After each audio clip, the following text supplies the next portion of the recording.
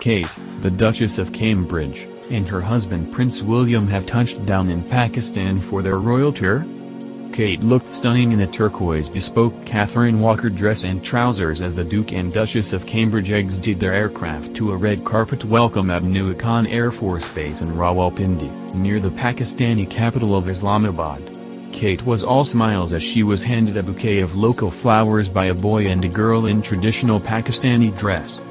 The Duchess's dress design echoed the traditional combination dress work kameez, which is popular in South and Central Asia, as well as a subtle nod to her late mother-in-law Princess Diana, who also visited the country in 1996 in a similar turquoise dress and trousers.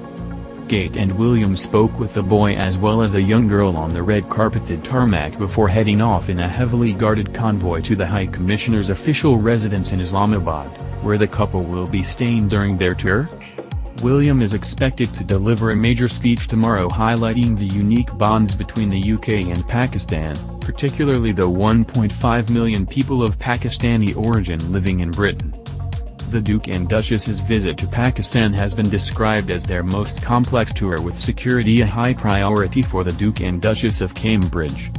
The pair will be guarded 1,000 police in a huge security operation throughout their trip, but Kate and William are still determined to meet as many Pakistanis as possible. Kate and William's itinerary echoes Meghan and Harry's Africa tour, with a focus on empowering young people. Kensington Palace also announced Kate and William arrival in Pakistan on Twitter, adding, the Duke and Duchess's first official visit to the country will pay respect to the historical relationship between Britain and Pakistan, but will largely focus on showcasing Pakistan as it is today, a dynamic, aspirational and forward-looking nation. Ahead of their tour, a palace statement said, over the course of the visit, their Royal Highnesses will meet a wide variety of people including children and young people, leaders from government, business and the charity sector, inspiring conservationists, and well-known cultural figures and sporting stars. Their children Prince George, 6, Princess Charlotte, 4, and Prince Louis, 1, will not be joining Kate and William on the tour as the eldest children are at school.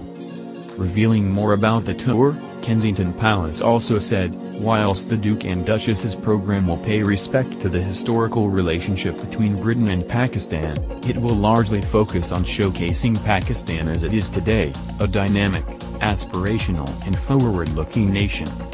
From the modern leafy capital Islamabad, to the vibrant city of Lahore, the mountainous countryside in the north, and the rugged border regions to the west, the visit will span over 1,000 kilometers, and will take in Pakistan's rich culture, its diverse communities, and its beautiful landscapes.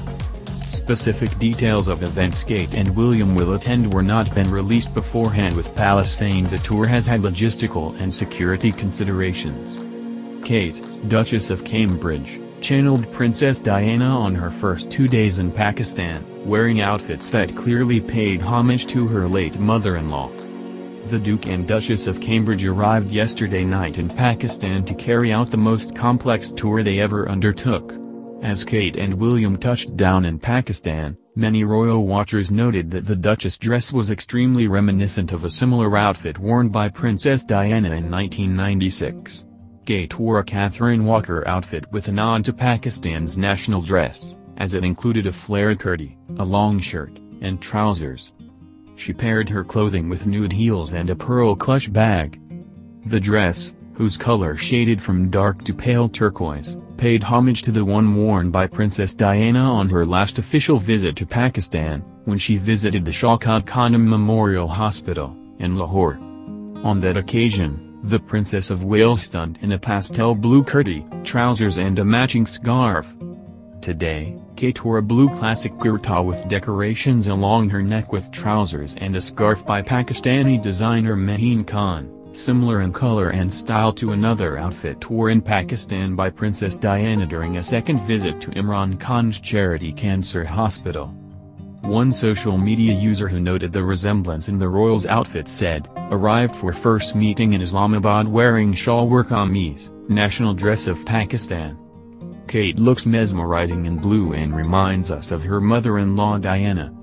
Another, publishing several pictures of the two royals, said, similarity of Princess Diana's visit to Pakistan and now her daughter-in-law Duchess of Cambridge Kate's visit. Look at royalty and grace. It is not possible to know whether Kate and William will retrace the footsteps of the late princess, as details of their trip are being kept secret for security reason. But it is certain the pair will meet Imran Khan, the now Prime Minister and former cricket star who has a strong connection with William's late mother.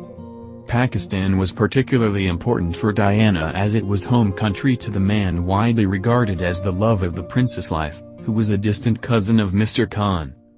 During her tour in 1996, Diana is said to have sneaked out to meet Dr. Hasnat Khan and his family.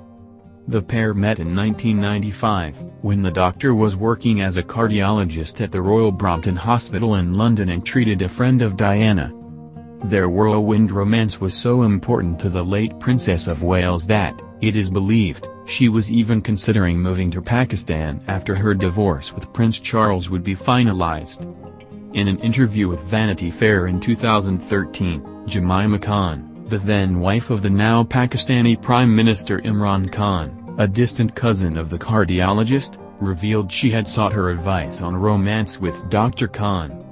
Jemima said Diana had wanted to know how hard it had been for her to adapt to life in Pakistan. Jemima said, she, came to visit me twice in Pakistan to help fundraise for Imran's hospital, but both times she also went to meet his family secretly to discuss the possibility of marriage to Hasnat. For a son to marry an English girl is every conservative Pashtun mother's worst nightmare. You send your son to be educated in England and he comes back with an English bride. It's something they dread. Their relationship eventually ended in June 1997, two months before the Princess of Wales died in a car crash in Paris.